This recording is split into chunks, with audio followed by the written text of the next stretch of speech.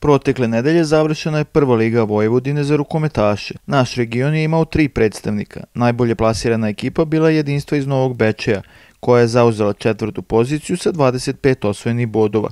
Hercegovina i Sećanja je prvenstvo završila na devetoj poziciji i sakupila 14 bodova, a ekipa Vojvoda Stepe je bila 11. sa svega pet osvojenih bodova. Šampion lige je Hercegovci iz Gajdobre.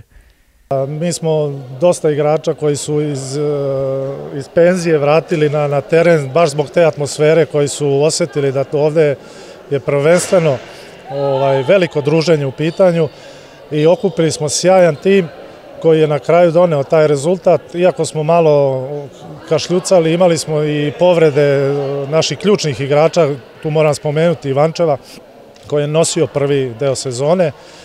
Posle je tu došao Doder, mislim da kolektiv je doneo ovaj, ovaj, ovaj rezultat na kraju i, i mislim da, da zaslužujemo da slavimo večeras i, i do, do početka jel, nove sezone. Iz lige je ispala ekipa Dolova, a u ovu ligu iz nižeg ranga plasirali su se metalac iz Futoga i Nova Pazova.